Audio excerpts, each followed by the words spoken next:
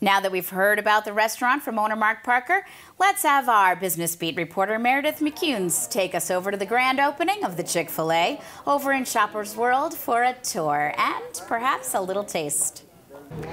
We are here at the new Chick-fil-A owned by Mark Parker, who is hoping to offer good food, good job opportunities, and much more.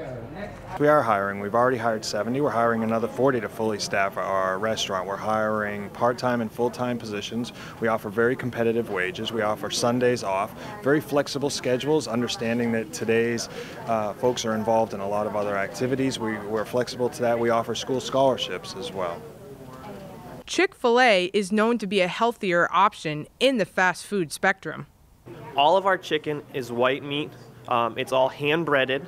Um, so never pre-breaded, anything of that nature. We have both grilled and pressure cooked products. Uh, we also do most, the mass majority of all of our salads and prep in-house. So lettuce, tomatoes, all that kind of stuff is made fresh daily, as well as our biscuits are hand rolled and made throughout the day. This restaurant is a heritage vintage design. Um, behind us is actually a Coke bottle chandelier.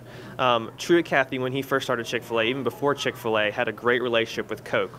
His first job when he was five years old was actually selling Coca-Cola bottles out of his um, wagon going around the neighborhood. Along with serving food, Chick fil A hopes to be a great community partner. Yes, um, since we arrived on ground here and started construction, I made a quick alignment with Kristen at the United Way of Tri County. And as part of that, uh, we wanted to do something that would support youth in the area. And we agreed that this was a great partnership. So, this is the Ready to Read program that is uh, managed by United Way, United Way Tri County.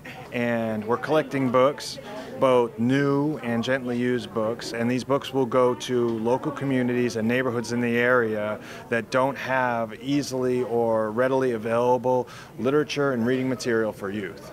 For the Business Beat, I'm Meredith McCunis.